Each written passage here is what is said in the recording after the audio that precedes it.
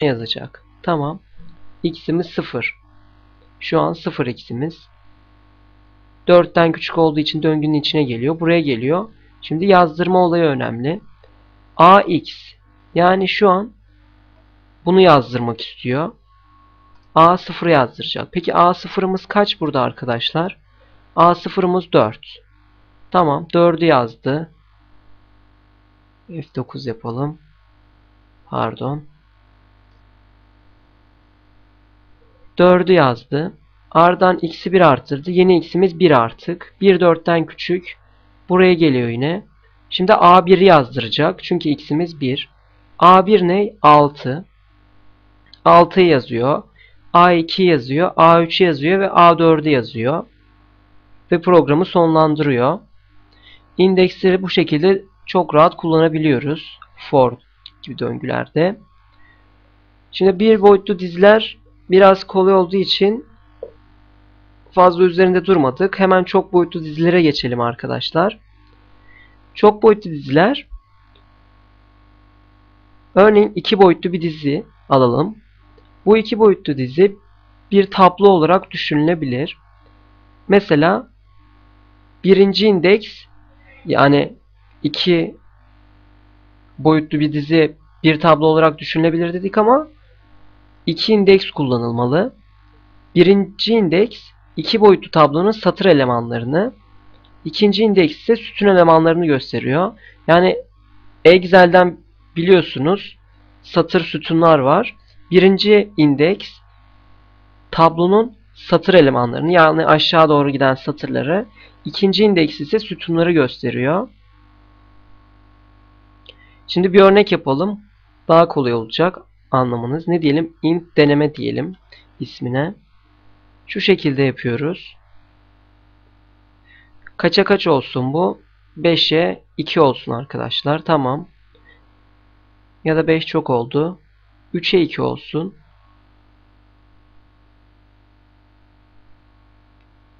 Hemen açalım. Çok boyutlu dizilerde şu şekilde içini dolduruyoruz arkadaşlar. Hepsini açıp kapatıyoruz. Süslü parantezlerin içine süslü parantez yapıyoruz daha doğrusu.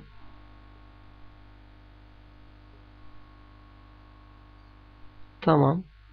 Ne diyelim? Sayılar girelim. 1,2 5,7 8,4 diyelim. Tamam. Şurada ne tanımlayalım? int x ve y tanımlayalım. Cout diyelim. Bilgilendirelim kullanıcıyı. Ne diyelim?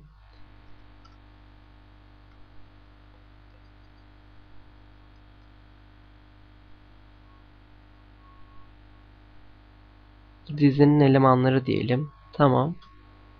Şimdi for döngümüze girelim. x eşittir sıfırdan kaça kadar arkadaşlar? x küçük 3'e kadar olacak. X'i 1 arttır. Tamam. Peki bunun içinde ne yazacağız? Bunun içinde bir başka for döngüsü kuracağız. Yani for içinde for'u da görüyoruz burada. Buna da y eşittir sıfırdan y küçük 2 olana kadar y'yi arttır diyoruz. Buna da bir parantez açıyoruz. İçine şöyle yazalım. Cout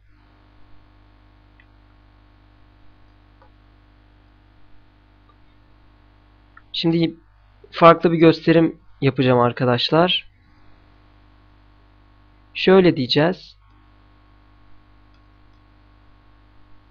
Normalde bu bir yorum satırı. Şöyle yapalım. Çıkışlarımızı verdik. İçine x diyelim. Buna da aynı şeyi yapalım. Çıkışlarımızı verdik. İçine y diyelim. Bakalım nasıl gözükecek bu. Şuraya da iki nokta üstte koyalım.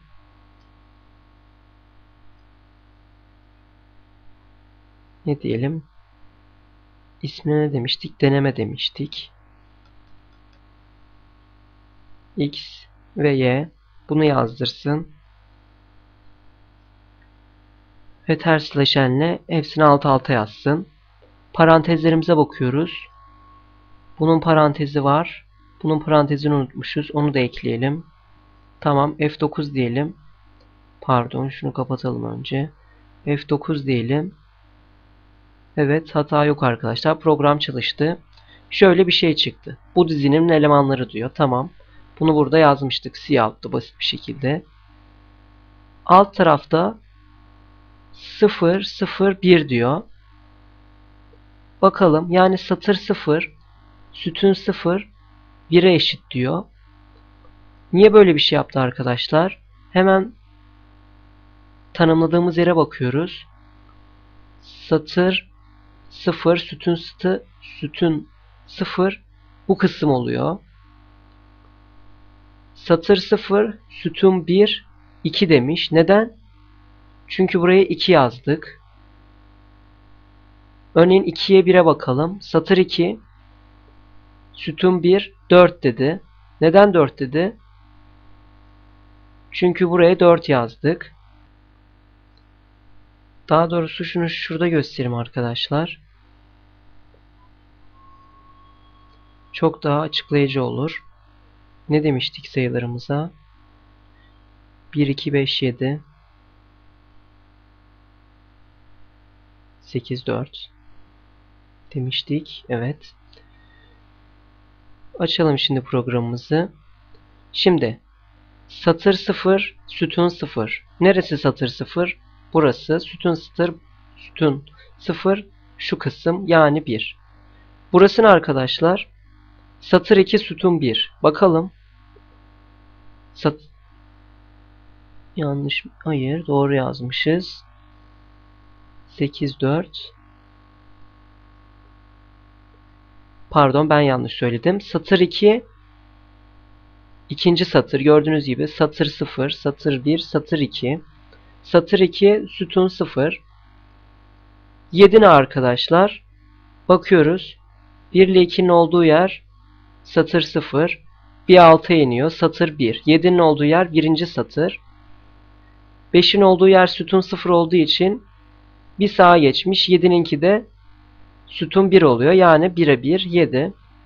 Çok boyutlu diziler bu şekilde arkadaşlar. Şimdilik mantığını, avra mantığını kavramaya çalışın. Bu ders bu dersi burada bitiriyorum. Dizilerle ilgili zaten bolca soru çözeceğim. Bir sonraki dersimizde Katar dizilerini uzunca işlemek istiyorum. Örneğin klavyeden Katar nasıl okunur? Katar kopyalama nasıl olur? Katarların birleştirilmesi, GES fonksiyonunun kullanılması, str copy fonksiyonunun kullanılması gibi geniş bir video hazırlayacağım. Bu videoda aklınıza takılanları yorum bölümünden sorabilirsiniz.